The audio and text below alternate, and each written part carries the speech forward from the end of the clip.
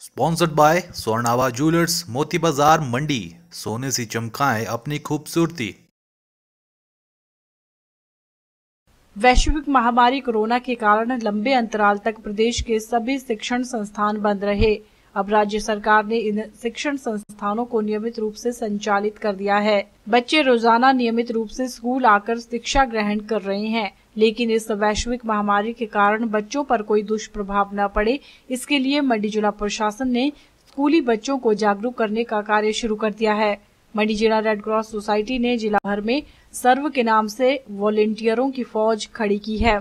जिला में सर्व वॉलेंटियरों की संख्या दस हज़ार छह सौ बारह है, जबकि एक सौ बहत्तर वॉलेंटियर मास्टर ट्रेनर है। हालाँकि यह वॉलंटियर और ट्रेनर आपदा के समय मदद करते हैं, लेकिन कोरोना काल में भी इन्होंने बेहतरीन सेवाएँ दी थी। अब स्कूल खुलने पर जिला प्रशासन ने फिर से इनकी मदद ली है।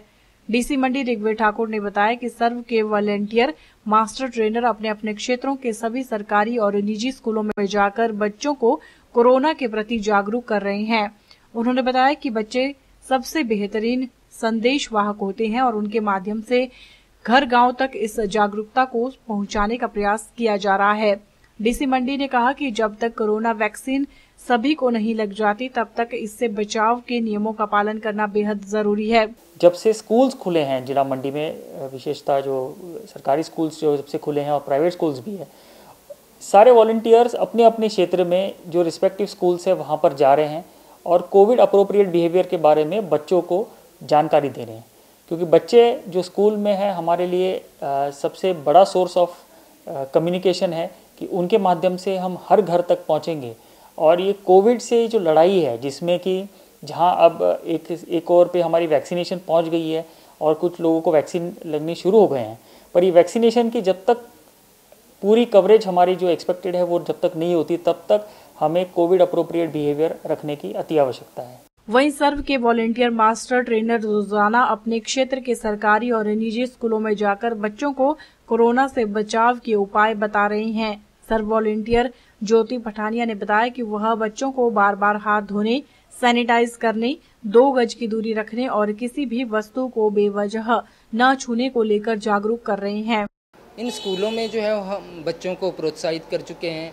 कि अपने हाथों को बार बार साबुन से धोते रहें, दो गज की दूरी अपना के रखें, बिना किसी कारण के किसी वस्तु को ना छुएँ, ताकि हमारा ज़िला जो है वो कोरोना से मुक्त हो सके। और ये आजकल जैसे कि हम सभी जानते हैं कि कोरोना जैसी वैश्विक महामारी एक बार पुनः ज़िला मंडी में जो है वो व्यापक स्तर पर बढ़ने शुरू हो चुकी है। तो हम चाहते हैं कि हम इस बीमारी के ऊपर अंकुश लगा सकें और अपने सभी स्कूलों के छात्र छात्राओं को जो है वो इस कोरोना से मुक्त कर सकें। वहीं स्कूली बच्चे भी उन्हें दिए जा रहे ज्ञान को लेकर खासे उत्साहित नज़र आ रहे हैं। स्कूली छात्रा जागृति ने बताया कि रेड क्रॉस के माध्यम से उन्हें बेहतरीन जानकारी मिली है और वह उनका पूरी तरह से पालन भी कर रही है। निश्चित रूप से कोरोना जैसी महामारी से बचाव में जागरूकता ही सबसे बेहतरीन माध्यम बनकर सामने आया है। ऐसे में ज़रूरी यह हो जाता है कि हम जागरूकता के इन प्रयासों को निरंतर जारी रखें और कोरोना से लड़ाई के लिए बनाए गए नियमों का पालन करते रहें। सोसाइटी द्वारा हमें कोविड नाइन्टीन पर जागरूक किया गया, अर्थात हमें बताया गया कि हमें समय समय पर अपने हाथ धोने चाहिए, अर्थात मास्क लगाना चाहिए और भीड़ भाड़ और भीड़ भाड़ वाले इलाकों पर बिना कारण के नहीं जाना चाहिए। हम रेड क्रॉस सोसाइटी हम रेड क्रॉस सोसाइटी का धन्यवाद करते हैं कि, और अर्थात हम चाहते हैं कि वो हमें आगे भविष्य में ऐसे अनेक जानकारियाँ देते रहें।